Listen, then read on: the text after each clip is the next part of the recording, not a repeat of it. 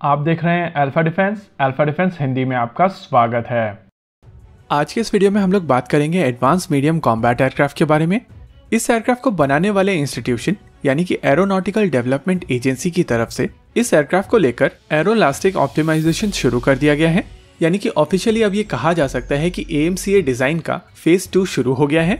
इस फ़ेज़ के दौरान बहुत सारी एनालिसिस इस एयरक्राफ्ट के डिज़ाइन के ऊपर की जाएँगी। और इनमें से ज़्यादातर एनालिसिस इस एयरक्राफ्ट के कंस्ट्रक्शन में यूज़ होने वाले मटेरियल के ऊपर की जाएगी।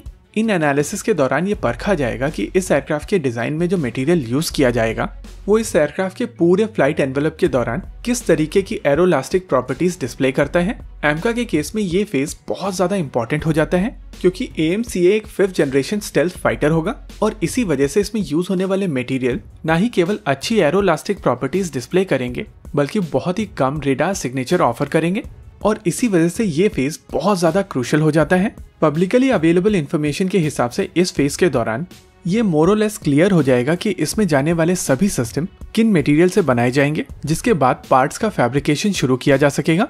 माना जा रहा है कि इस फ़ेज़ को आने वाले चार से छह महीने के अंदर कंप्लीट कर लिया जाएगा और इस फ़ेज़ के दौरान कुछ और high speed wind tunnel testing models बनाए जाएँगे और इन मॉडल्स के ऊपर डाइवर्जेंस गस्ट फ्लटर और बफेट जैसे अलग अलग तरीके के वाइब्रेशंस को टेस्ट किया जाएगा और उसके ओवरऑल इम्पैक्ट को अलग अलग प्रकार के मटेरियल के साथ में टेस्ट किया जाएगा, जिससे ये पता चलेगा कि कौन सा मटेरियल एयरक्राफ्ट के किस हिस्से के लिए सबसे सही रहेगा। और जैसा कि हम लोग पहले भी बता चुके हैं कि इस एयरक्राफ्ट में जाने वाले सभी मटेरियल्स के साथ में एक और वेरिएबल ऐड हो जाता है और वो है इनकी रेडार रिफ्लेक्टिंग प्रॉपर्टी और इस चीज़ को देखते हुए ये चॉइस बहुत ज़्यादा कॉम्प्लेक्स हो जाती है।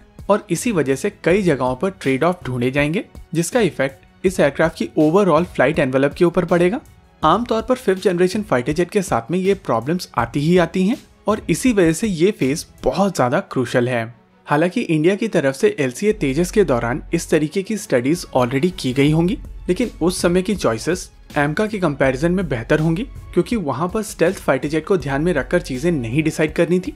वैसे अगर ओवरऑल टाइमलाइन की बात की जाए तो एडवांस मीडियम कॉम्बैट एयरक्राफ्ट साल 2025 में रोल आउट किया जाएगा और साल 2026 में इस एयरक्राफ्ट की पहली फ़्लाइट होगी। इसके अलावा इस एयरक्राफ्ट का एक और वर्जन बनाया जाएगा, जो इस एयरक्राफ्ट को ऑलमोस्ट सिक्स जनरेशन केपेबिलिटीज प्रदान करेगा। यह एयरक्राफ्ट कहलाएगा एम का मार्क टू जहाँ A M C A mark one साल 2026 में अपनी पहली उड़ान भरेगा। वहीं पर A M C A mark two साल 2030 के आसपास अपनी पहली उड़ान भरेगा और ये फाइटर जेट भारत में ही बने हुए जेट इंजन का प्रयोग करेगा। वैसे एरोनॉटिकल डेवलपमेंट एजेंसी की तरफ़ से इस एयरक्राफ्ट डिज़ाइन के सेकेंड फ़ेज़ के दौरान प्राइवेट सेक्टर कंपनीज़ को एंगेज किया जा रहा है और इस पूरे फ़ेज़ के दौरान ये प्राइवेट सेक्टर कंपनीज़ आठ माइलस्टोन्स के ऊपर काम करेंगी। ये सारे के सारे माइलस्टोन डिलीवर होने के बाद में इस एयरक्राफ्ट डिज़ाइन का तीसरा फ़ेज़ शुरू किया जाएगा। हालाँकि ये पूरी की पूरी एनालिसिस ये प्राइवेट सेक्टर कंपनी आडा की फैसिलिटी में जाकर करेगी और इस एनालिसिस फ़ेज़ के दौरान इस प्राइवेट सेक्टर कंपनी को आडा के साथ साथ आईआईटी कानपुर और एन का भी पूरा का पूरा सपोर्ट मिलेगा। वैसे इस एयरक्राफ्ट के डिज़ाइन में जो अप्रोच यूज़ की जा रही है, वो काफ़ी शानदार है। आडा की तरफ़ से जो ऑलरेडी एक्सपीरियंस रिसोर्सेस हैं, उनको सब्जेक्ट मैटर एक्सपर्ट के तौर पर यूज़ किया जा रहा है।